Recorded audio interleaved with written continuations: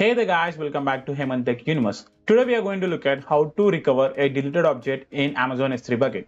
We will also be looking at how to maintain versions in S3 bucket. Let's do that. First, I already uploaded an object over here, so I'm selecting that. Let's just say I'm deleting this object and it will ask you, do you want to delete it? All you have to do is just confirm the delete objects. Okay, now this is done. Now go back again you can as you can see there are no objects over here. But i want to recover that particular object. One of the features of s3 buckets is that the objects like the deleted objects are recoverable. So let's see how to do that. All you have to do is come here and click on show versions. As you can see you can look at the two objects over here. These are two not our exactly object. One is our object and one is the marker object that it was created while the object was created. As you can see, there is no size for that particular object. So to recover this particular object that we have deleted, all you have to do is delete this particular delete marker. Come here, delete, okay, and type permanently delete over here. Now, as soon as you delete that, your object will be recovered for you. As you can see, the object that you have deleted is recovered for you. So as you can see, I, there is already one object over here. So now let's upload this same object again. As you can see, this is the object data that I have uploaded, the first one. So I'm just removing this and adding something over here. Something like this one. It's success, okay?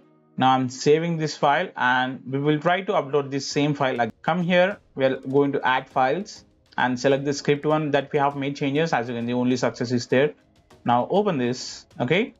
We'll be having this same file name okay? Let's do not change it because we are trying to maintain versions for the same particular object. Now come back again. As you can see it has been uploaded but as you can see the size is different over here for this one. Before it was 3.2 kb before that was 4 kb right?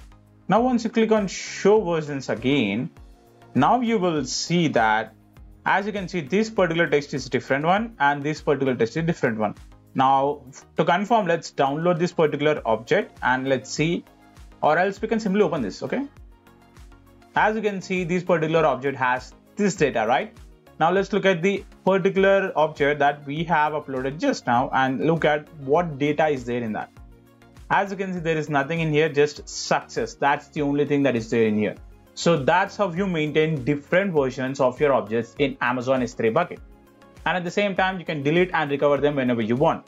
But remember once you delete the marker and recover that object and once again if you delete that it will be gone forever. I'll show you. This is the one that we have deleted before. Let's click on here.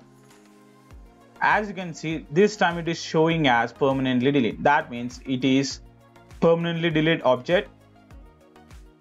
That means this object will be deleted permanently and it is not recoverable delete this object. Now as you can see that object will not be shown here anymore.